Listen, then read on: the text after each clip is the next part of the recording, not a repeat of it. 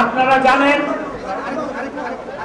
যে বাংলাদেশের ইতিহাসের সবচেয়ে কলঙ্কময় রাত্রি হচ্ছে এখান থেকে সরব রাজনীতি করি, তারা বাংলার উন্নয়নে কোনো ভেদাভেদ করি না। কিন্তু যারা বাংলাদেশ চায় না, তাদেরকে আমরা দলে টানি না। তার কারণ, বাংলাদেশ যারা চায় না, তারা শুধু বাংলাদেশের ক্ষতি করে। আমরা সা দেখে এসেছি।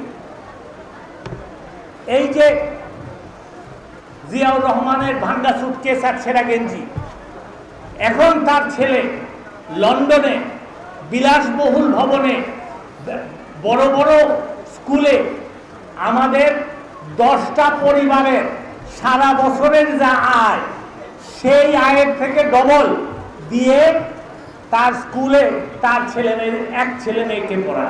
এইটার টাকা পায় কোথায়? এইটার টাকা বাংলাদেশকে লুট করে নিয়ে যাওয়া টাকার অংশ। এইগুলির হিসাব ইনশাল্লাহ দিতে হবে।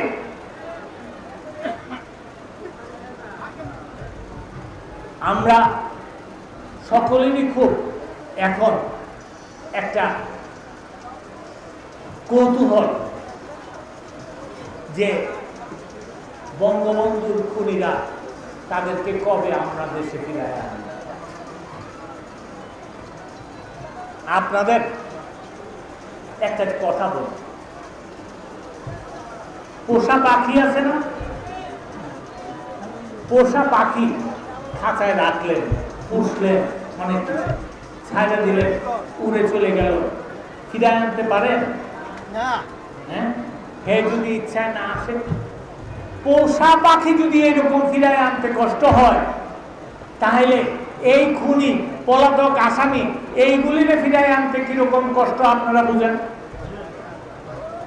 একটা আছে আমেরিকায়। এই বিএনপি আমলে তাকে আমেরিকায় স্থায়ীভাবে যাতে থাকতে পারে, সেই রকম ব্যবস্থা করে দিচ্ছে তাকে এখন আনার জন্য আমরা আমেরিকান সরকারের সাথে আলাপ আলোচনা করতেছি এই যে আলাপ আলোচনা, আমি বলব, এই আলাপ আলোচনা অনেক অংশে ফলপ্রসূ হচ্ছে। ইনশাল্লাহ এইটা আমাদের ফল পাবে। আমরা যদি আগামীবার ইনশাল্লাহ ক্ষমতায় আসতে পারি, তাহলে আমি আপনাদেরকে কথা দিলাম, যথাশীঘ্রই আমি এই রাশেদ চৌধুরীকে দেশে ফিরিয়ে আনার ব্যবস্থা করব এখন আসেন এখন আসেন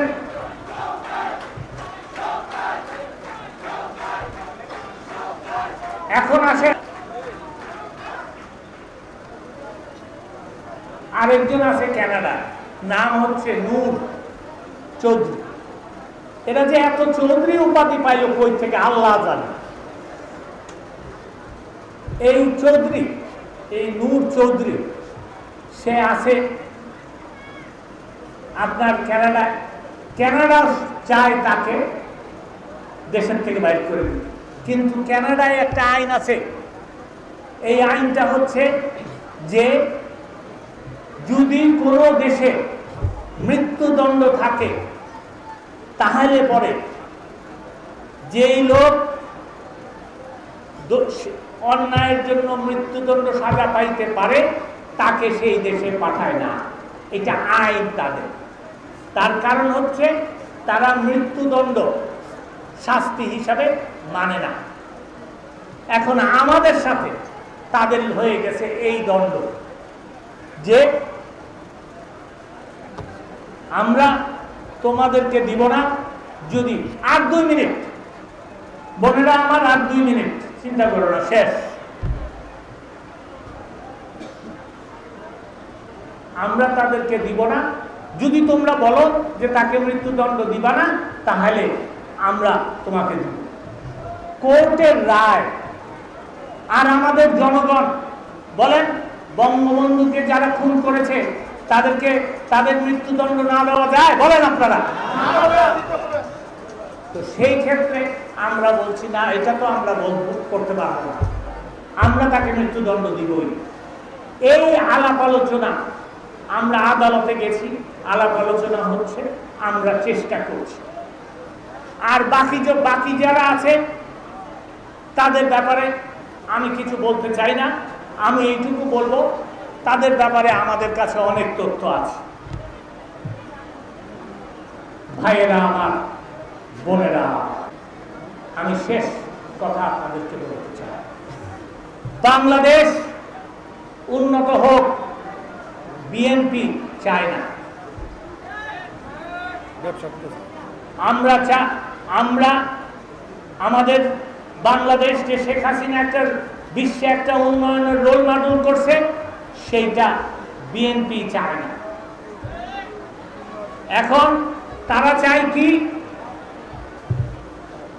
তারা চায় বাংলাদেশ পাকিস্তানের মতন হোক, একটা বোমায় সাঁত্রিশ জন মরে যান আরেকটা বোমায় একশো সাতাইশ জন স্কুলের বাচ্চা মরে যান এইরকম চায় তারা। আপনাদের মনে আছে, সতেরোই অগাস্ট সারা বাংলাদেশের কোর্টে বোমা হামলা হয়েছিল যখন খালেদা জিয়া প্রধানমন্ত্রী ছিল। আপনাদের মনে আছে, একুশে অগাস্ট দুই হাজার চার সাল বঙ্গবন্ধু কন্যা আমাদের জননেত্রী শেখ হাসিনাকে মেরে ফেলার জন্য গ্রেনেড হামলা হয়েছিল। এইটাই হচ্ছে তাদের বাংলাদেশ। আমাদের বাংলাদেশ হচ্ছে উন্নত বাংলাদেশ। এইটা নিয়ে যদি কেউ ষড়যন্ত্র করে, আপনাদের কাছে আমার দাবি রইল, তাদেরকে আপনারা উচিত শিক্ষা দিয়ে দিবেন। আমরা বাংলার মানুষ গণতন্ত্রের ধারাবাহিকতা বজায় রাখব ইনশাল্লাহ আমরা শেখ হাসিনার নেতৃত্বে উন্নত বাংলাদেশ দেখব ইনশাল্লাহ